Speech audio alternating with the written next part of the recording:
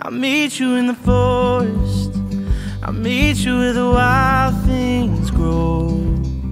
And we can go explore it underneath the midnight glow. Let